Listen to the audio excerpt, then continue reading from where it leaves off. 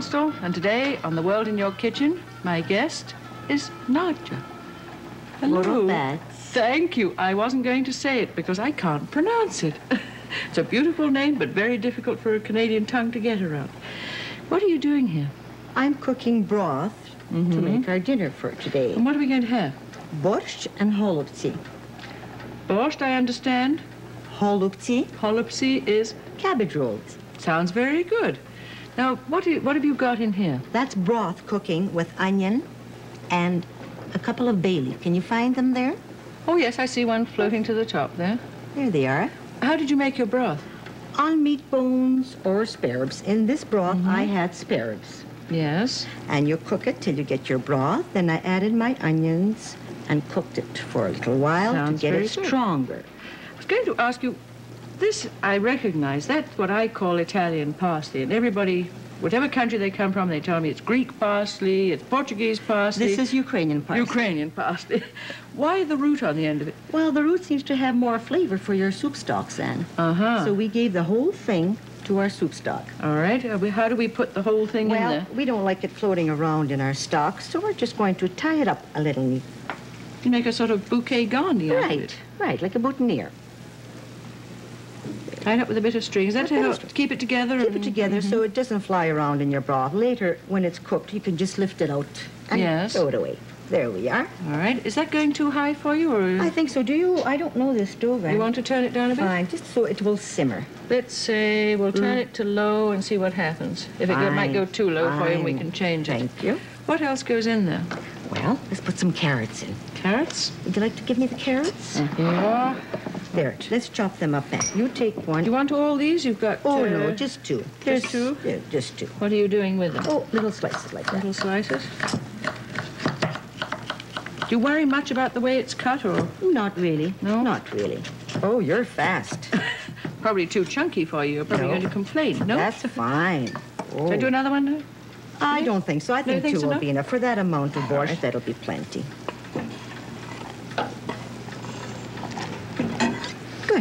I mean, I had about one carrot in there. I really. Just about. we- yes. Just about. I, Do you fine. leave the lid off while all this is going? We can on? put it on while we're doing Does it our help to beets. put it on? It keeps it boiling, I Yes, suppose. yes. Mhm. It doesn't evaporate as fast. All now, right. would you pass me the beets, please? Beets. uh, Mm-hmm. Yeah. Now, I've got some chopped up. Mm-hmm. Let's chop this one up. All right. Would you help me? Let's get it in half. Oh, that's a new beet. It won't take very long to cook. there, I do it in slices first, and I don't know the way you would do it. Well, I'm going to follow you, I hope. And Watch your fingers. They're very Yeah. sharp I knives. don't want to lose them. Oh, I don't do that. There we are. Oh, I Coming? see. You've got Are them you in little. Uh, well, I'm not quite Oh, you. I'm going to recognize your beets right away. Yours are awfully thick. a good Ukrainian housewife doesn't cut them. She cuts them very thin, Oh, she? and you know who's the biggest complainer? Who? Her husband. Really? Oh, Are they very difficult husbands? No, they've uh, they're so proud of their women Mm-hmm. cooking Ukrainian dishes that it just has to be so the way their mothers used to do it. Promise and me you won't take this home. We'd like to put that in the broth then. Fine. Is this enough? No, I think let's put a little more so it'll be Oh, we've really got one red. in so far. Uh, Let's put a little more of that a little in. more in. You know what? Let's dunk it all in. You in. tell me when to. Oh, Sure, oh, dunk all right. it all in. We don't have to eat the beets. There, how's that? Fine. Now, let that cook for a minute. Mm-hmm. You, let help You you want with it the up stove again? again. All right. Thank you. Now, how about the cabbage? Cabbage. You choose the white cabbage, do you? Well, it's either the new cabbage or old cabbage. This happens to be the old cabbage. And it Mm-hmm. was just a little, oh, maybe a quarter of a head, and I chopped it up. Yes. It's just for two people, for you and I, Anne. Well, that's true. And I You suppose you're to- not used to cooking for Well- you and I. You. Oh, no, I'm usually cooking for a family of four, and we're big eaters. Oh, I see. Can't you tell? Uh, well, you, you're helping me a great deal because I seem to be putting on weight too. Fine, put it all in. I think it's going to be good. At least you show you like food, don't you? Yes, we do enjoy our food. deal. Our food is very good. Fine. What happens to that now? Well, let's that cook for a little while, Anne, because Yeah, the beets are high. raw. We'll put it on high, All right. and we'll start something else. Well, uh, what else goes in this? Let's. That'll be the tomato juice for the borscht for later As soon as this here. boils. As soon as your uh, comes to a boil, we'll add our tomato juice in. Yes. Is there anything else that goes into a borscht? Into a borscht, you can give string beans. Mm-hmm. I like to give a little can of pork and beans for the tomato sauce flavor and the bean flavor. Hold it a second. Pork and beans. Uh-huh. Well, just an ordinary commercial brand of pork Yes. and beans. And you put the beans into, right? Yes. In Ukraine, and I was taught to uh, add dry beans. That's the white Yes. beans or the kidney beans. Uh-huh. But you have to soak them overnight, and the next day they take an awful long time to boil. So it's much easier to open up a can. I can't believe that a good Ukrainian cook goes opening up cans. Don't tell my husband. So we're going to eventually put a little bit of that yes, in. as soon as it comes to a boil, Anne, and then we'll add the tomato juice. Do we put any potatoes in or anything Yes. else? Yes, but I'd like that to come to a boil. But let's prepare our potatoes start for now. chopping them, I guess. Fine. Oh, yeah, I see you have them soaking in water, which is a good idea, so that we don't... Uh... You know how black they get. Oh, indeed. How do you do these? Well, it doesn't really matter. Could be diced. Diced? Right. Yes. Are your hands red from the beets, Anne? Because mine are. They're coming that way, yes. Like a little bit of gore in the kitchen, you end up all nice and red, look as though you've really been working. Here. There we go. You go faster than I am, you see. I'm much... I'm not a Ukrainian housewife. Well, we'll have to see what we can do about it. After you finish our dinner today, I think uh, you'll uh, sort of be half Ukrainian, eh? Half Ukrainian? I'll try. Fine. It's coming. It's coming, it's just a little bit put it in? slow. Let's put it in. Well, I don't I want to ruin so. your recipe. All the vegetables are chopped pretty fine, so they'll. Would you really try and wait each time until it comes to a boil? It's better, especially Yes. for the potato, because the potatoes will cook much faster. I see. That won't take long because the beets are quite uh, young. They won't take long at What is the difference? Now, you, you mentioned this point, young. Supposing you're cooking in this in midwinter. Uh, well, midwinter, you've got young beets. Cooking it in They're midsummer. expensive. Yes. yes. But is there a difference in the cooking technique? Yes, you'd have to cook the winter beets a little longer, at least 20 minutes, Anne, because they are hard. Yes. And uh, you have to cook them longer. The new beets, five, six minutes is plenty for them if they're chopped that fine. Mm-hmm. But borscht, is, does the name borscht have anything to do with beets?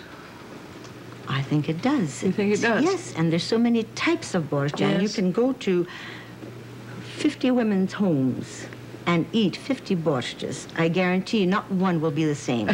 not one. How many people are going to complain that your Ukrainian borscht is not a Ukrainian borscht? Well, the only thing I can say is I'm cooking it the way my mother taught me. Did your mother teach you all your cooking procedures? Yes, she, She did. did? She was a very good cook, and she made us all good cooks. Yes. Yes. When um, people tell me this, I often wonder, do you sit at mother's knee and watch what she's doing? No, my mother was different. She made us do the work. She I sat see. while we did the work. She sat did. She sat at the kitchen table, especially making bread or whatever it was. She told. Yes. us what to do, what to add to it, and that's the way we became to satisfy our husbands. I see. Now, when this comes to a boil, you're going to add some tomato juice. So Mm-hmm. I'll clear this for a second, and we'll get ready, because I know we're going to have cabbage rolls, which I still can't pronounce. Holupchi. Holopchi. Good. All right. Good. I'll start getting things ready for you here. I hope I have the ingredients here.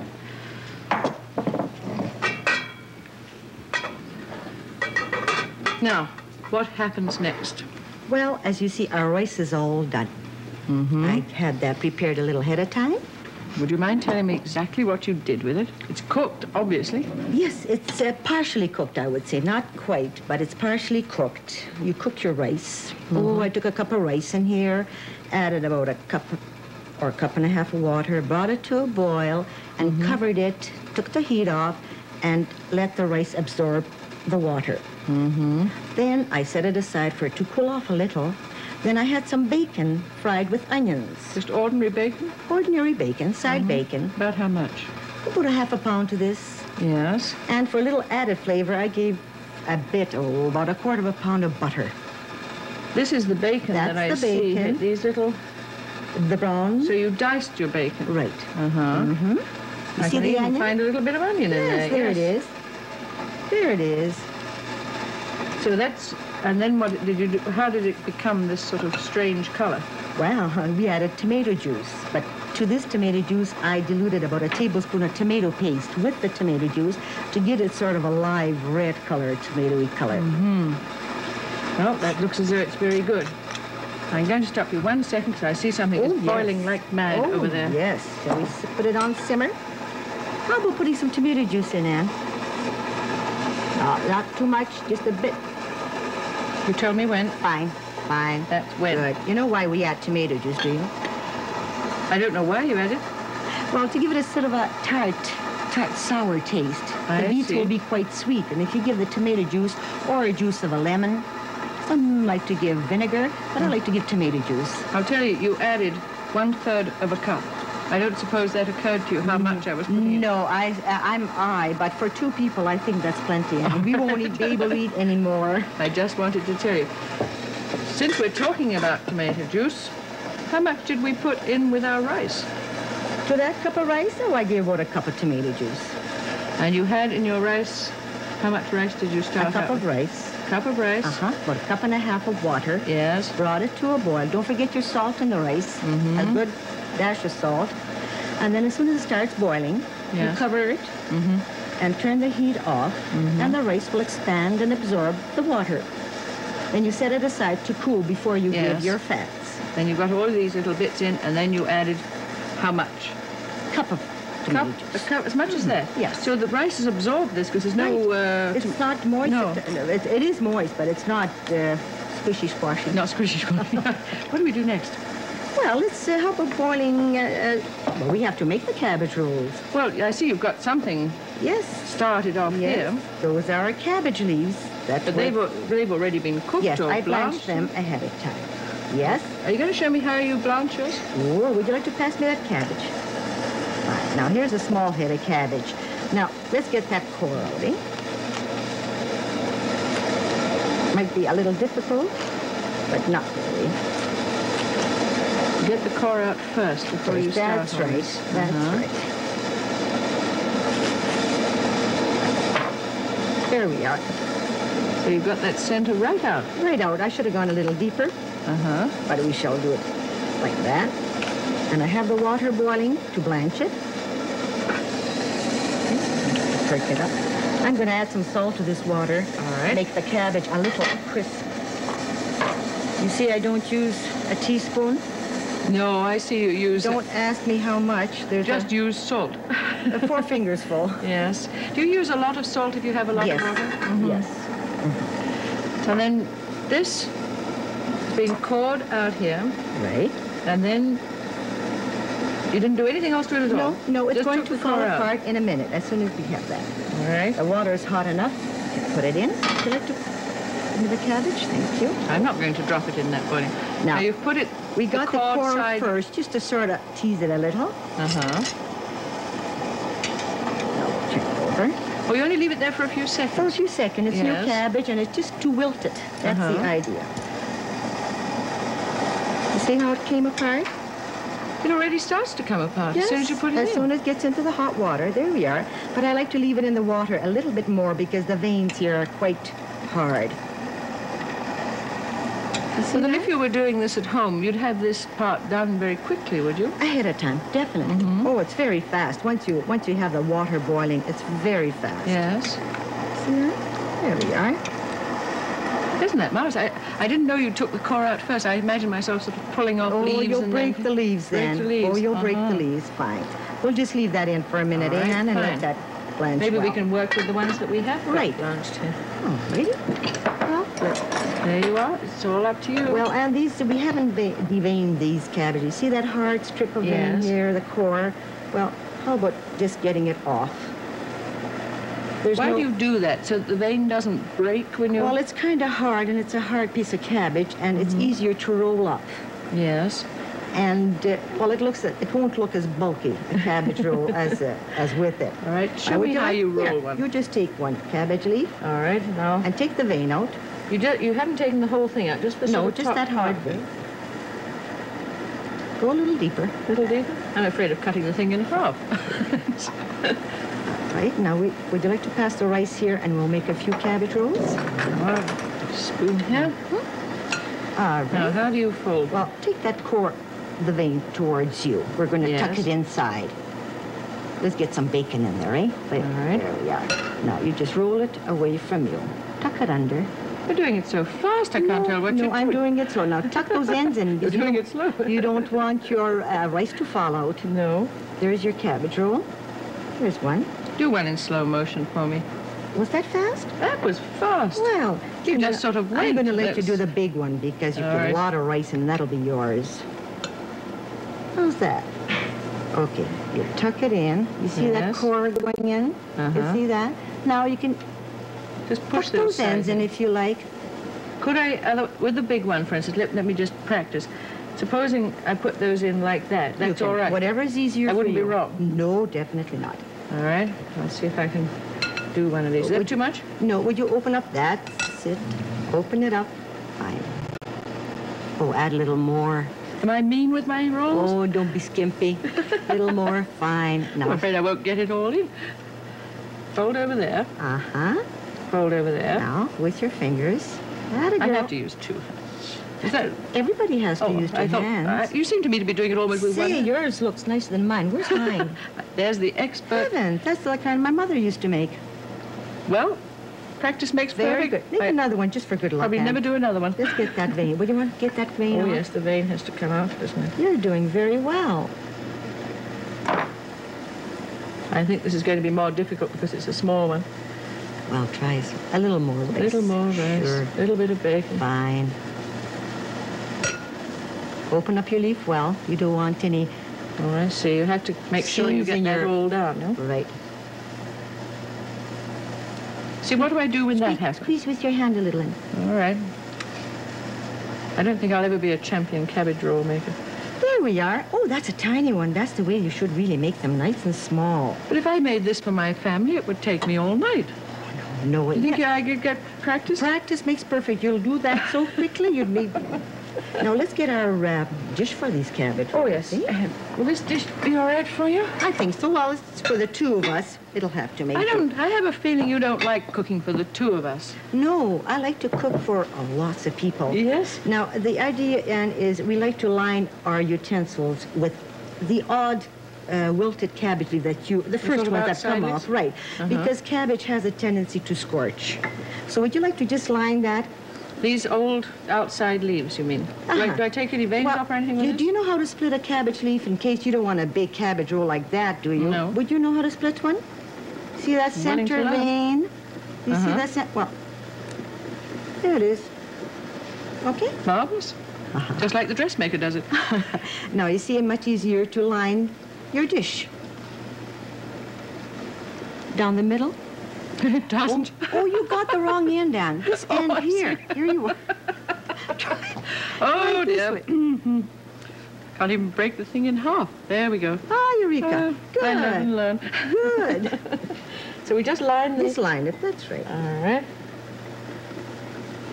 Now let's put our cabbage rolls in. You put them in there, just Uh-huh. uh, Well, you sort of put them nicely in order. Oh, excuse me, and the one, this that has been, try and put it on the bottom. Otherwise, Mm-hmm. seam. when it comes to take it out, it's going to fall. you mean the seam The part? seam, right. All right.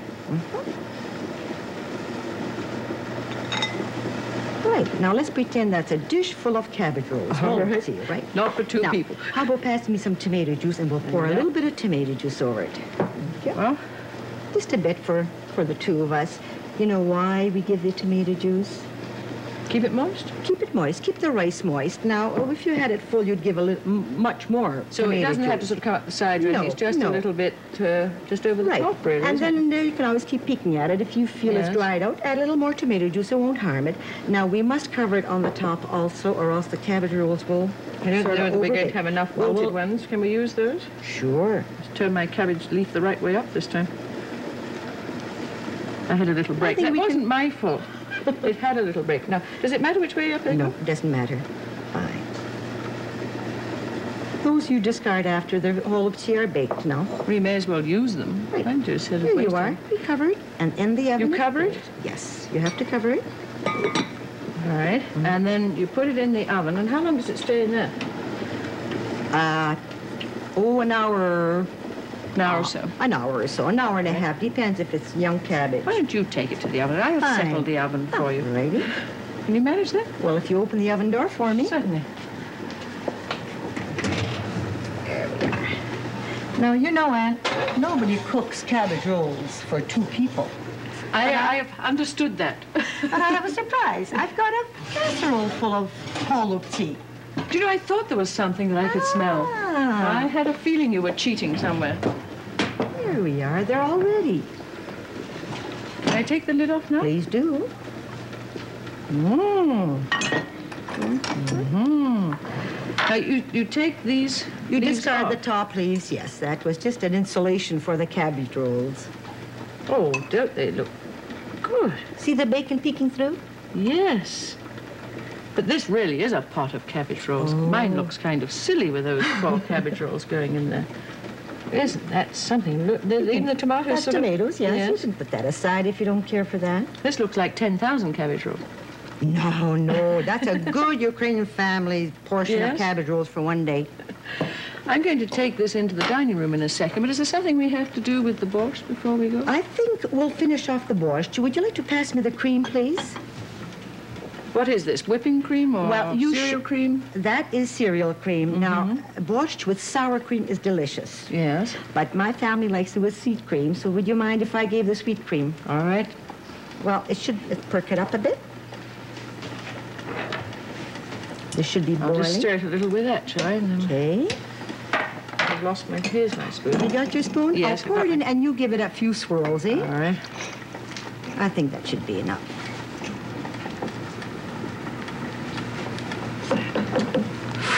Isn't this smelling good? You know what you smell? You smell the parsley, the bay leaf. I see the parsley. Yes. There it is. We'll discard that before we put it on the Uh-huh. table. How long would this normally cook?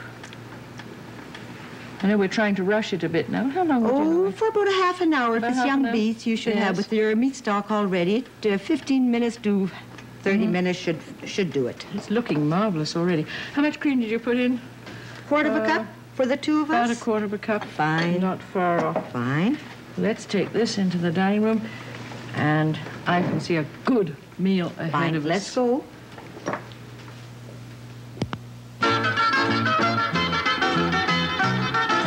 Welcome to my home, Nadia. Why, thank you, Anne. It's so nice of you to remember and know our Ukrainian custom. But it's a beautiful It custom. is. This is a custom that's used when you welcome your guests into your home. And that means the symbol is plenty, happiness, long life, and hospitality. With salt and bread. Salt and bread. It's a beautiful custom. It's lovely. My borscht is smelling too good. Looks just perfect. Everything seems to have sort of stayed separately. My beets are still, they're not mashed in or anything. They've all stayed separately. What's that I found there? Is that part of the greenery? No, that's part of the spare ribs I had in the broth. Oh, isn't that nice? I've got a meaty dish as well. Nadia, uh, cabbage rolls too. What, do- what do you call them? Holubtsi. Holubchi cabbage rolls. Look, beautiful. They stay so separate. Look at it. It just Uh-huh. comes away without any problem. How many of these would you eat at a meal? Depends on the appetite and how good they are. I can go through four or five. Would you have anything with them? Why, yes, you can serve it with sour cream. Sour It's cream. very good with sour cream or a mushroom sauce made out of Uh-huh. mushrooms and sour cream, or the gravy type. Yes. And that would make a complete meal. Yes? Mm-hmm. It's certainly a delicious meal. And I noticed something in front of you that I hadn't seen before and you didn't cook for me. What is it? That's city chicken. City chicken. And it's chicken. No, no chicken. It's veal and pork.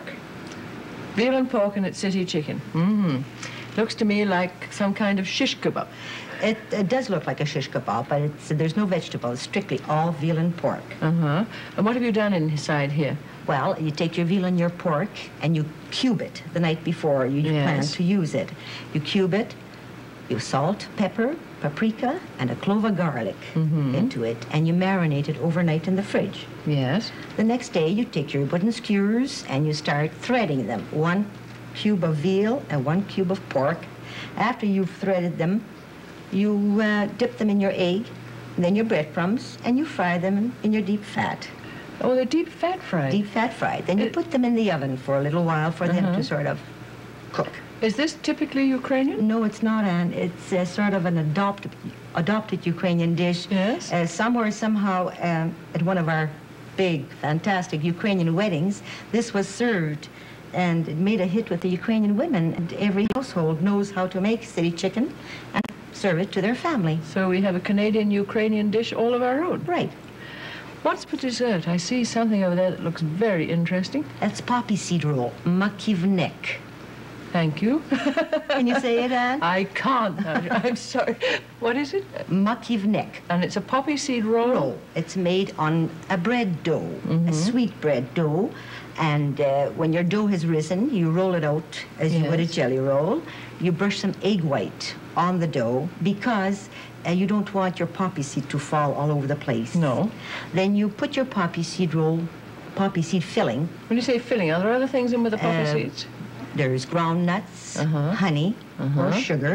You can put some jam in there to make it a little uh, on the spreading constituency. Glue it together? glue it together, right? And then you roll it up like a jelly roll, Mm-hmm. and you let it rise in the pan for a while, like as you would a loaf of bread. Yes. Then you bake it in your oven till it's ready. Looks to me as though you baked it in a loaf pan, 'cause it looks like a loaf of bread, doesn't it? Mm-hmm.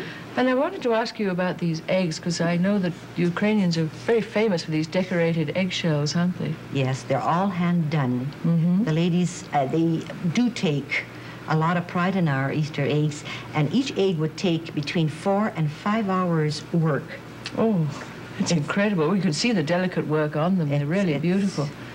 But is it an Easter tradition to have It this? is, yes. When we bless our food at Easter at church, Yes. with our food, we should have a few pisankia, our decorated Easter eggs. You don't crack these and eat them, I hope, afterwards. Oh, they wouldn't dare.